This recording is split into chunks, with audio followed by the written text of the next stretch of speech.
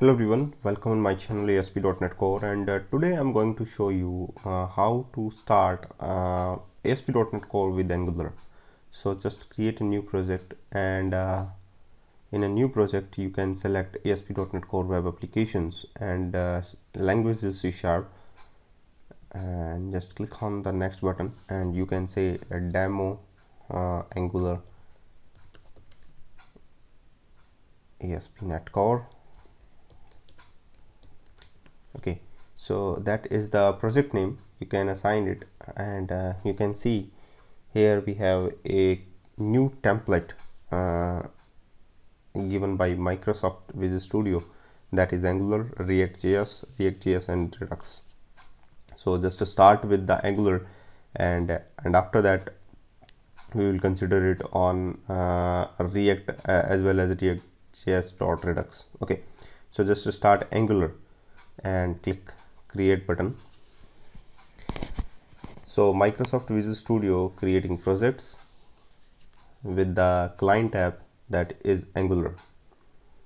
So you can see controller is as usual. Client app is a new folder uh, in MVC project uh, okay. So in the client app you have you can see there is a lots of files and one uh, one by one we will consider it on in a later video session.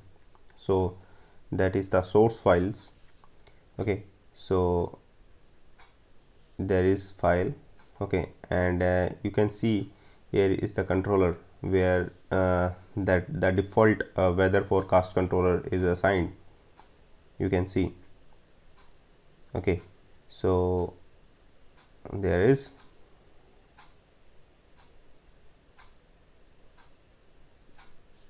okay.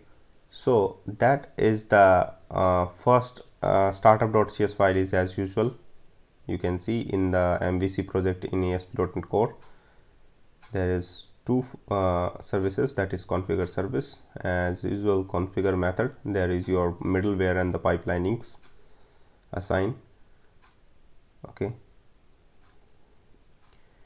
So and use angular client server is npm scripts that is the node.js you can see. Okay so as usual www root folder is looking li uh, like in uh, ASP.NET Core web projects. Dependency is there. And app settings.json file is also there you can see. And the one more uh, one more uh, thing is that that is the pages you can see that error.cshtml is there and view import.cshtml is there. View import is as usual in the views page you can see. And in the client app that is the client pages. I mean to say that html pages and assigned it here.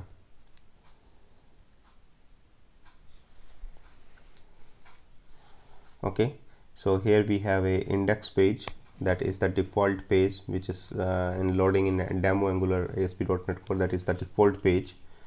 Okay? And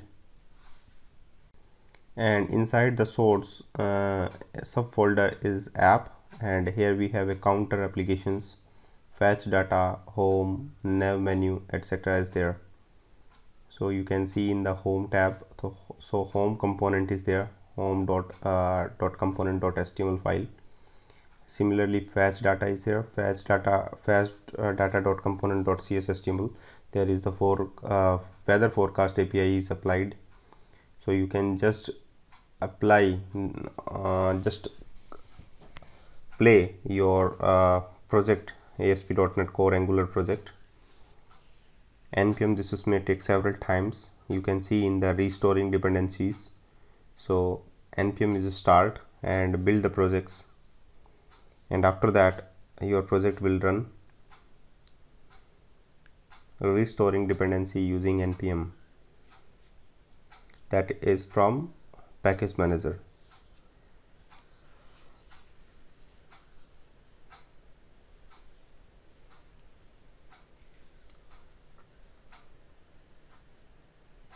So let's wait to some times uh, to run your project on your web browser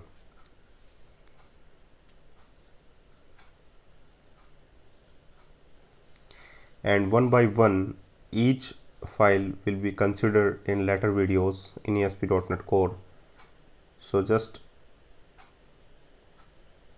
wait for some times and I will run your project and uh, I will start a new project in uh, using Angular.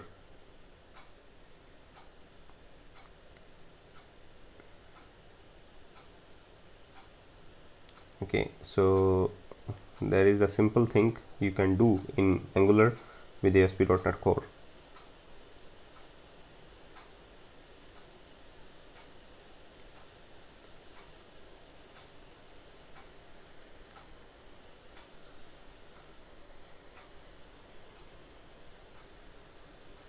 Yeah demo angular ASP.NET Core application is run starting.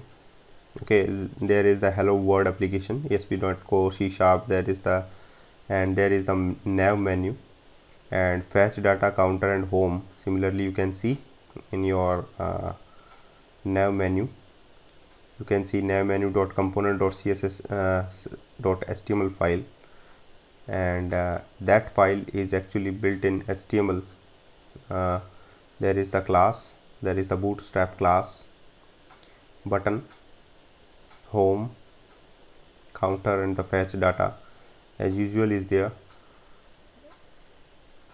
And how to apply the hyperlink looking like that router link router link. So that is the output. When we click on the fetch data your weather forecast API is there. Counter application is there. Okay. So that is the getting started of uh, angular uh, application in ASP.NET Core that is the beginning point and just wait for the next video and I will uh, do more in angular. So thank you very much for watching this video and keep watching all others